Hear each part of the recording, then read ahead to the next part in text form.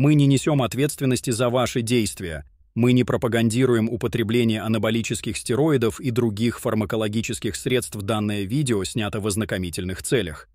Мы против употребления анаболических стероидов, и наша цель — предупредить вас об этом. Спасибо. Здравствуйте, дорогие друзья. Все персонажи, используемые на канале, вымышлены. Блог создан исключительно в развлекательных целях. Видео снято не для просмотра на территории Российской Федерации. Любые совпадения с реальными личностями случайны. Поведение персонажей в блоге не является мнением автора, а только художественно отображает тот или иной персонаж. Огромное количество запросов э, от людей с целью «я хочу, чтобы курсанули мои родители» по той причине, что э, папа мучается с коленом, там мама с артритами, артрозами, у кого-то даже ревматизм поставлен, можно, нельзя курсить и так далее. Вот сегодня будем об этом говорить. То есть в лечебных целях а, задача э, улучшения уровня жизни пожилых пациентов. Возможно, соответственно, конечно, в первую очередь рассматривается применение таких препаратов это либо чистый тестостерон, либо нандролон деканаат. Вот в этих рамках будем смотреть и обдумаем, что да как. Заваривайте чаечек, стругайте огурчики, а мы начинаем. Только качественные витамины и другие добавки на проекте Волгала почувствуй силу Одина. Ссылка в описании видео. Итак, дорогие друзья, Соответственно, я для зрителей постоянных моего канала, я, конечно, ничего нового не скажу, но я постараюсь это уложить, соответственно, для того обывателя, который, возможно, смотрит не все мои выпуски.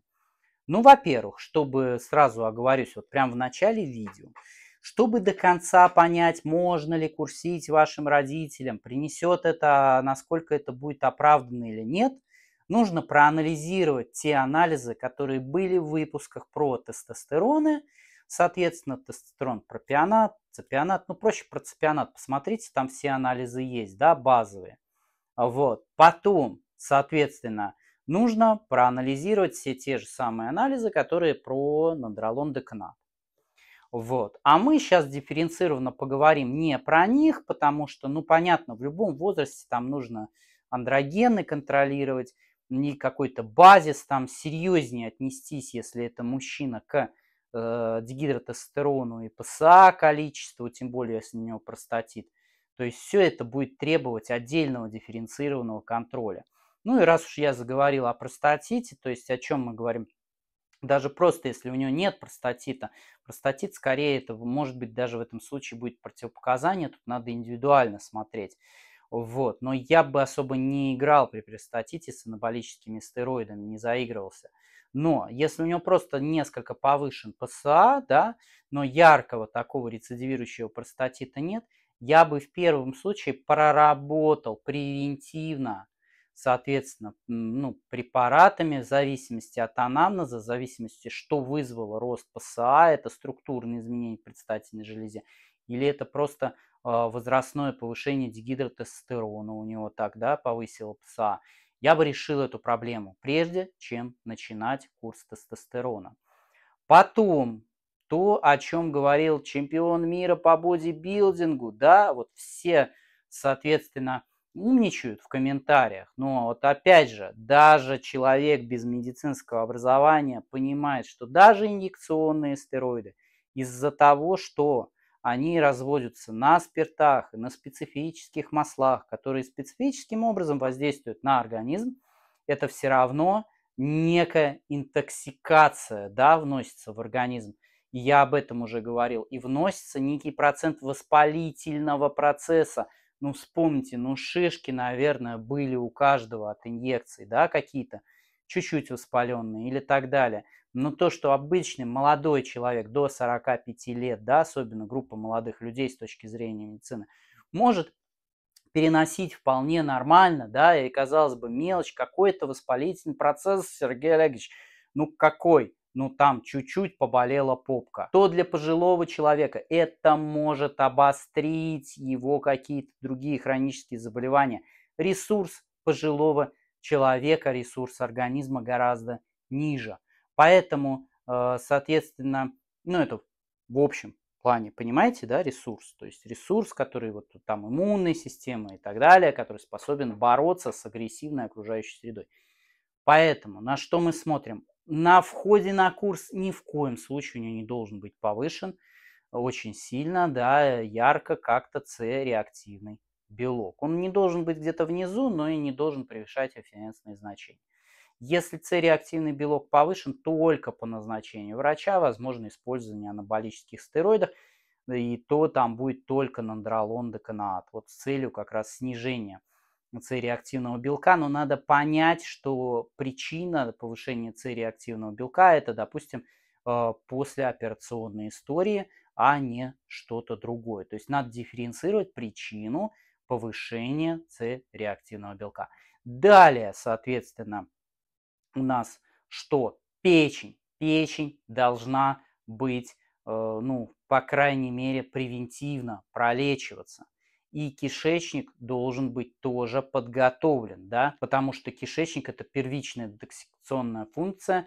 Мы должны проверить, что у нас в норме эндотоксин, у нас в норме плазмологен, э, или выпрямить его, это не так долго выравнивать вот, там не должно быть какого-то махрового сибра, потому что все это будет сказываться на функциях печени.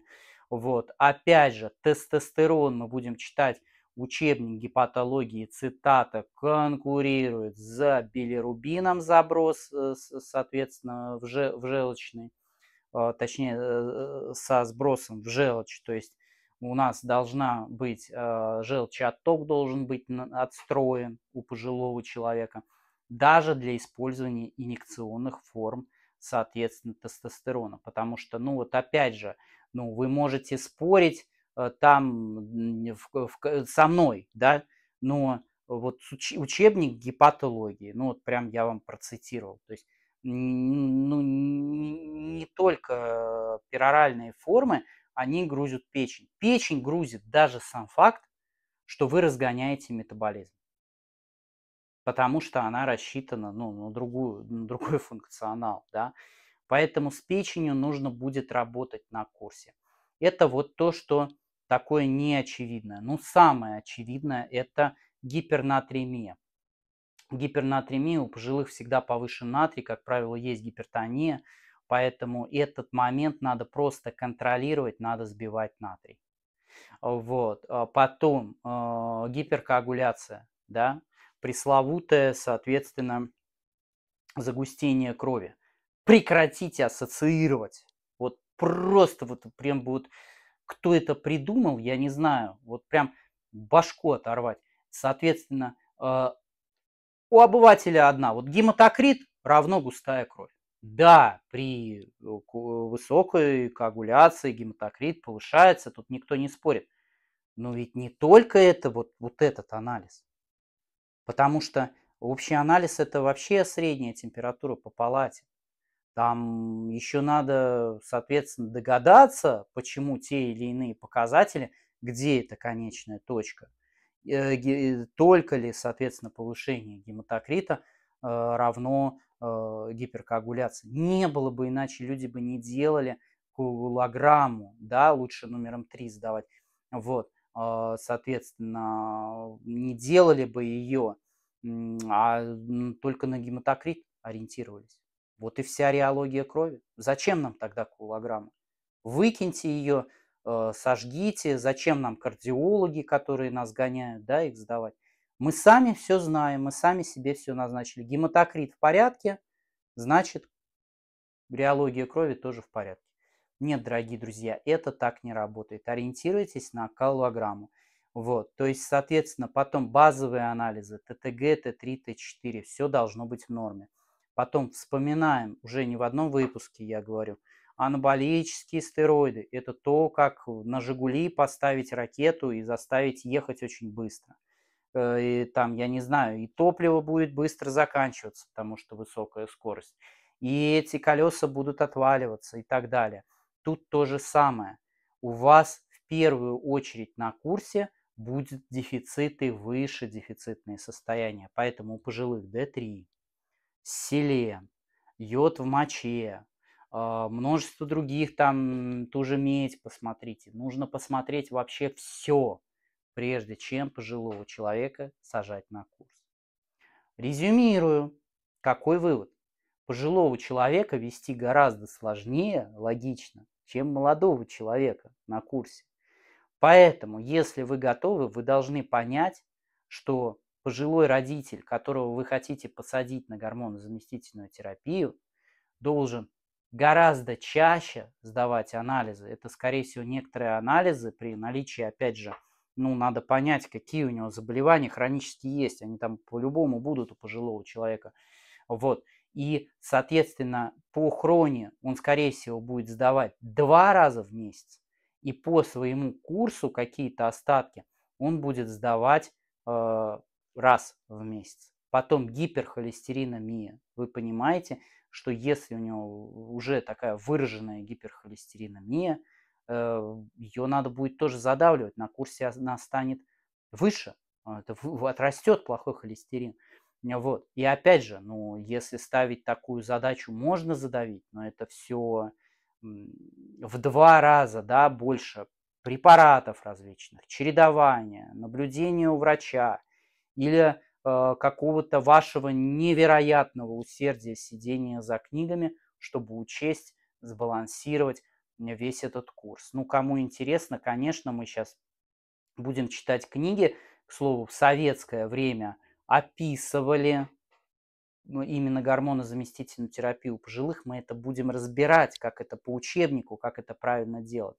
А этот выпуск, ну, скорее затравочка. В разных выпусках гормонозаместительная терапия, она как бы будет местами фигурировать в книжках, вы это увидите, что там, сям это применили с той или иной целью, какие были побочные эффекты там описываются на пациентах и так далее. Это все будет. Просто не сразу, конечно, ну, сами понимаете, запросов очень много, про все сразу я не сниму. Вот. Так что вот примерно такая ситуация с пожилыми и тестостероном, дорогие друзья. Подписывайтесь на канал, ставьте лайки.